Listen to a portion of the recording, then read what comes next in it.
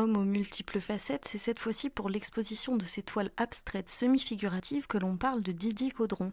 Médecin généraliste émérite, il s'intéresse à la peinture dès son adolescence et n'a jamais arrêté de s'inspirer de ce qui l'entoure pour produire ses toiles. Le geste et la mémoire, euh, dans l'atelier, on réunit les deux et euh, on tente d'être, euh, de transmettre une émotion, de la donner.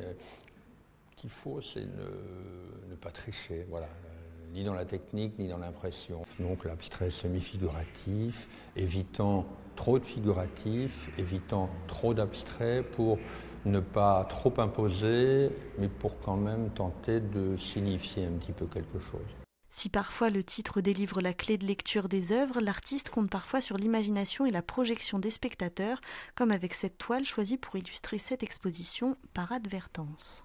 Cette toile euh, représente ce que j'aime, où on, voit, certaines choses de manière évidente au départ. Donc on voit deux chevalets, euh, et on voit au-delà de la diagonale un, deuxième plan dans lequel on, voit tout et rien. On peut voir, on peut imaginer.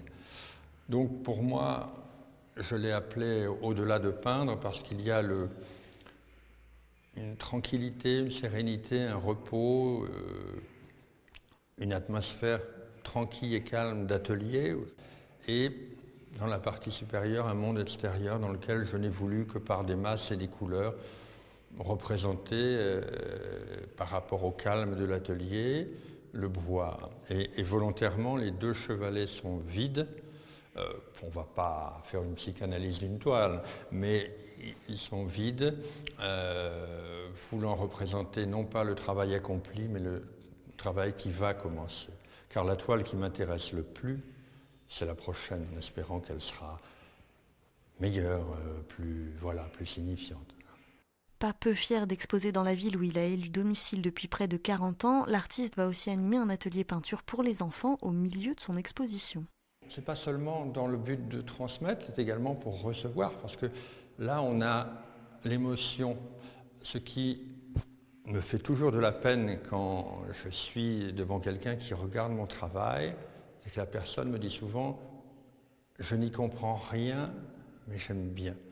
Et il n'y a personne qui comprend plus qu'un autre, chacun a un œil, un cerveau, un cœur, et, a le droit de parler, on n'est pas obligé de prendre des termes techniques. Et le bonheur des enfants, c'est qu'eux n'ont pas cette réserve euh, de courtoisie ou, manque d'audace des adultes qui ont peur de dire une bêtise et qui n'osent rien dire. Et là, avec les enfants, on a spontanément euh, leur avis, c'est fantastique.